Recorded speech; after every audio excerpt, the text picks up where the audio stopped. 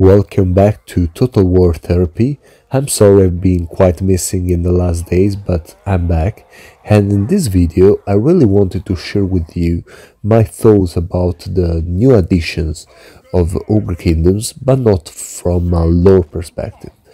I would prefer to focus on the battle gameplay uh, uh, field and how these units that have been already announced will affect the actual roster of Ogre Kingdoms. We can start directly with uh, Golgfag Maneater. Yeah, I say the entire name. I hope YouTube will not uh, uh, put down the video. And um, okay, he has basically the model of Over Tyrant.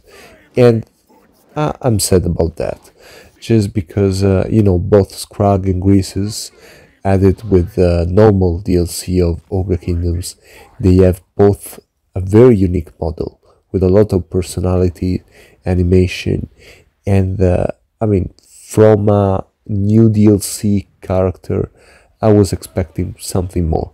Probably as a Tamokan, they will add some kind of animation, but I think that overall, how you will use the how you will use Golgfag would be the same way you're using the Over Tyrant. So just a big dude with a couple of weapon, anti-infantry probably, uh, armor piercing, and uh, yeah, with uh, his kind of ability buffs, but um, not something special and unique. We still know nothing about the generic characters and the legendary hero. We can make prediction, of course. We already made them in the in the previous video, and uh, yeah, we have some feelings that the legendary hero can be Bragg, Bragg Gutsman, and uh, the generic characters can be. I, I have no idea actually. I really have no idea. I mean, there are some options. We have to understand if they want to do just a boring, uh, probably man-eater character, or they are uh, looking for something unique like the Ogre Kingdom uh, Paymaster. That that would be my choice the paymaster some kind of uh, buffing unit with uh, probably a hand uh, a shotgun. I mean that would be my choice and that would actually introduce some variety to the gameplay. Now we can uh, talk about the units that have been announced. If you watch the previous What's Next you already know what i'm talking about. First of all the thunder tusk we have been waiting for these units since the release of Ogre Kingdom, so we are very excited to finally get it in the in the game. But uh, my concern and my my hope, in some way, is that uh, it will it will offer more variety compared to the Stonehorn, because the problem with this kind of big monsters, and uh, in this case we are uh, we are still talking about uh, four legs uh, monsters is that they can just give you the same experience. So it would be just bigger, tougher with a breath attack, as they say, but it would not be that different. Okay, so I my my hope is that the stone, uh, the sorry, the thunder tusk will not be just an upgrade of the stone horn, but something different. I don't know which way, there will be always probably a harpoon launcher somewhere this breath attack the frost attack. But uh, yeah so please give it something special some kind of variety. Then we can uh, uh, start to talk about the blood vulture. Okay they just introduced these birds in the first what's next? And this is a very interesting interesting choice choice because uh, i mean it's a unit that can actually change a lot the gameplay of Ogre Kingdoms.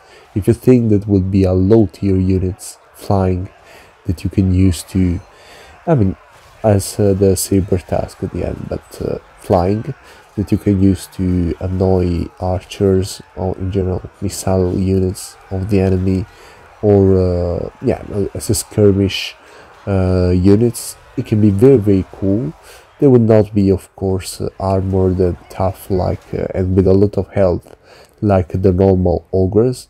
But uh, yeah, flying units like that, like the Onyx, the Crowman, they added Tokatei and so on. It's always cool. Okay, they always add something to the gameplay, and even if you consider that, uh, uh, I mean, they introduced in the last DLC like the Thunderbird, so units that are very hard to address if you don't have flying units uh, that can target them. So getting this kind of uh, flying units is always very very helpful for your strategies and uh, yeah quite appreciated. Now we can talk about the last unit that has been announced.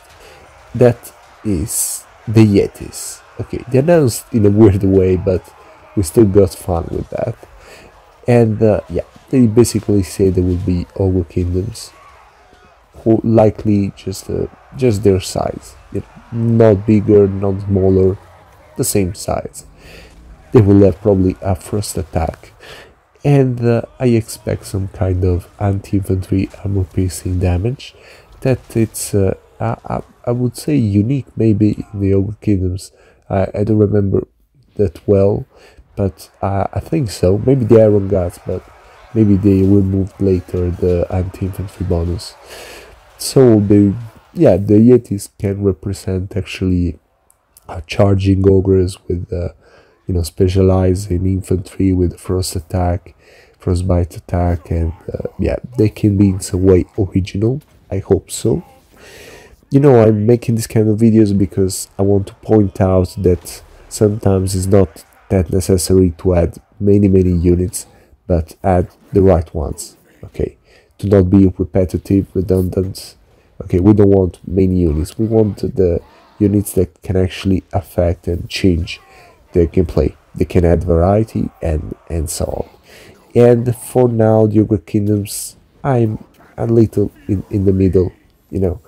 I, I know that probably Greenskins will give a lot of varieties with the new units, but Ogre Kingdoms, and we will talk about Khorne later, mm, a little less. I'm still concerned. You I want uh, just these units to be different not only from for the models or the animation but even just for uh, uh, how to use them in the battlefield. Thank you for following me till here. Sorry my voice a little depressed but it's okay don't worry don't forget to subscribe if you enjoy this kind of content and uh, see you soon